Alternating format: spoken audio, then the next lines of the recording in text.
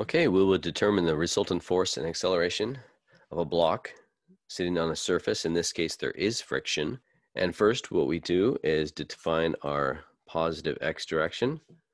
And with 12 in the positive x direction minus 240 in the x direction, that would give us 230 newtons negative.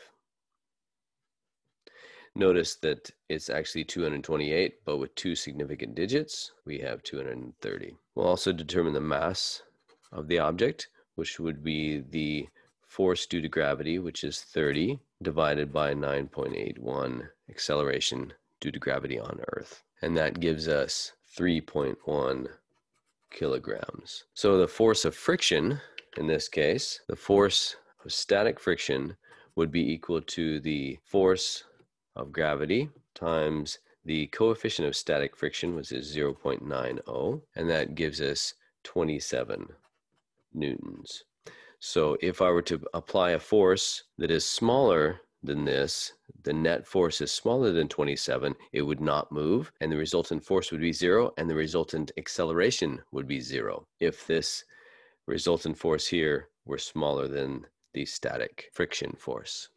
But in this case, the resultant force is 230, 230 in the left direction, and that is greater than 27, so it does move. So to determine now the movement, I need to take, because it does move, I don't need the static friction force, but the kinetic friction force. So that would be 30, the same normal force, times the coefficient of kinetic friction, 0.60, and that would give me 18 newtons. There is less frictional force with kinetic than there is with static. So I would determine the resultant force would be 230. Friction force is always against the motion, so 230 minus 18, and that resultant force would be 212 newtons. The acceleration due to this force, the acceleration would be that force divided by the mass of the object, 3.1 kg. And that would give me 68 meters per second squared to the left. So this resultant force is negative, negative according to my axes.